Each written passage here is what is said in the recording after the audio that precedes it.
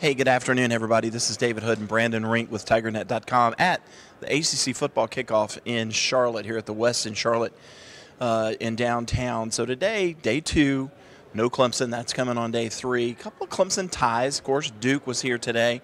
They play Clemson in the season opener on Labor Day night in Wallace Wade Stadium. Of course, Florida State was here today. They get Clemson in game four. A lot of people wondering will Florida State be the new darling of the conference? Will they be picked to win it this year?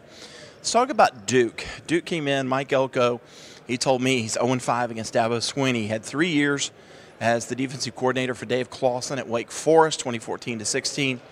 And then in 18 and 19, he was the defensive coordinator for Jimbo Fisher at Texas A&M when the Tigers went out to Aggie Land and won, and then Texas A&M came to Clemson the next year and also lost. So he said, I'm on 5 against Dabo. He would love to change that. But for Duke, not a lot of smack talk. It was more about this is an opportunity. They went nine and four last year.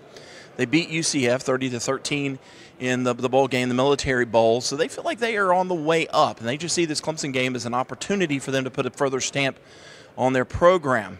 For Florida State, look, no trash talk there. Nothing that they anybody could use as any type of fodder or locker room material. It was just like one game at a time. Clemson is great. We'll play that game when we get to it nothing that could be you know attributed to smack talk. Mike Mike Norvell said, "Hey, Clemson's kind of the gold standard." Same thing that Mike Elko said from Duke.